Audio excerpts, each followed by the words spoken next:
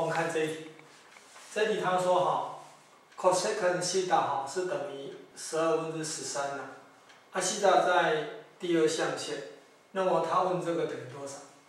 好，我们晓得说哈，这 cosecant 的导数呢，哎这个哈就是那个 sin 的导数了，或者是 sin 哈，哎西塔分之一，啊所以我就晓得哈，sin 西塔等于多少呢？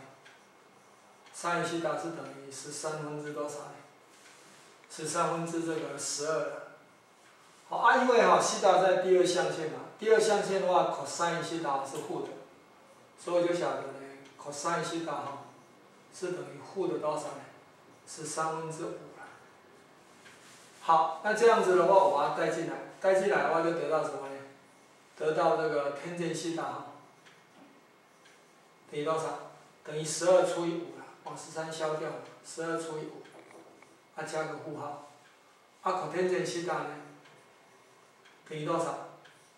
就这个除以这个嘛，哦 cos 西大除以三西大就 cos，再除以这个就就是那个五除以十二，负号，好，那这样我就晓得哈，tan 西大加上呢 cos 西大等于多少？等于这个是。五分之负十二哈，啊减掉十二分之五了，好，那给它通分，一通分的话就六十，六十分之负的哈，十二的平方了，加上呢五的平方，所以这样多少？这样六十分多少呢？这是一四四，加上呢二十五，上是十三的平方了，九六一，负的一六九。所以答案是六十分之负的一六十